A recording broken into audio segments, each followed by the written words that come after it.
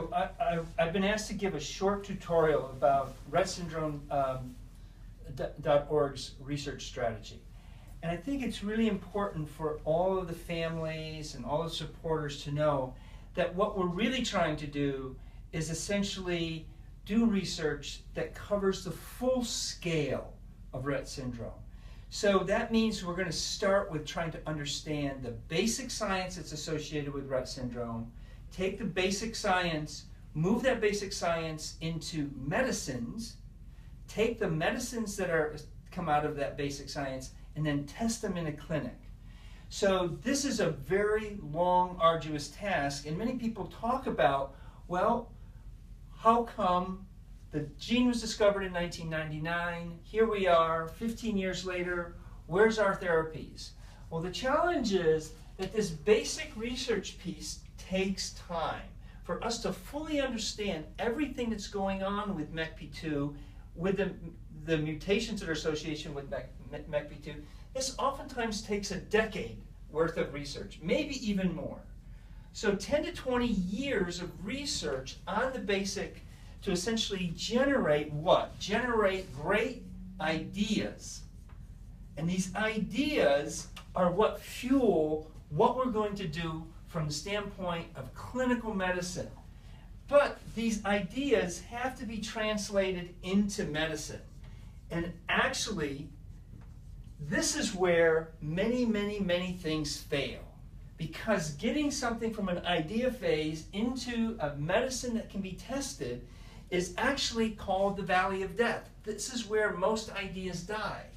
The challenge for us is in making a medicine that is actually going to be efficacious and it's going to be safe when you actually take it into the clinic. And that has to be done in many animal models.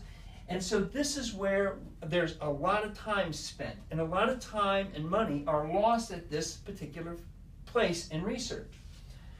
The challenge for us is that we also then have to move that into essentially a drug trial. And that's what this clinical research is about. And if you don't move it into that drug trial, you'll never actually have a medicine become essentially a treatment that it can be used with any patient. So this is essentially the track to go from basic research to translational research to clinical research.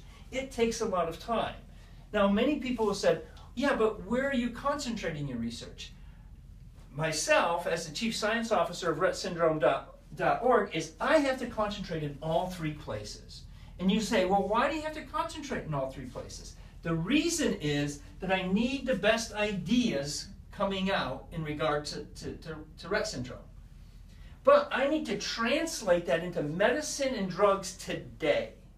And the reason I need to translate into drugs and medicine today is that because right now I have girls around this country that need treatment. I have 14 year olds, I have 20 year olds, I have 45 year olds.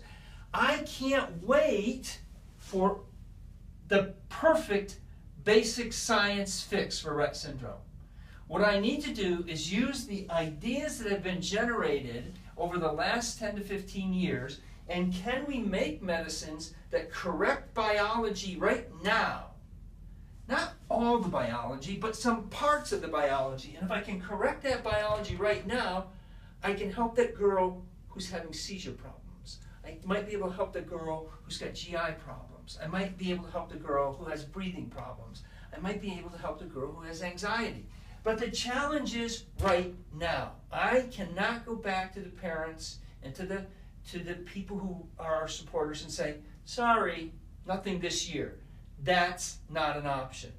What we have to do right now is find ways to correct the biology in the girls, and that's by moving the ideas into medicines and into drug trials, taking those drug trials forward with partnerships like Neuren, many other drug companies, to essentially come up with treatments today to help the girls who are out there right now.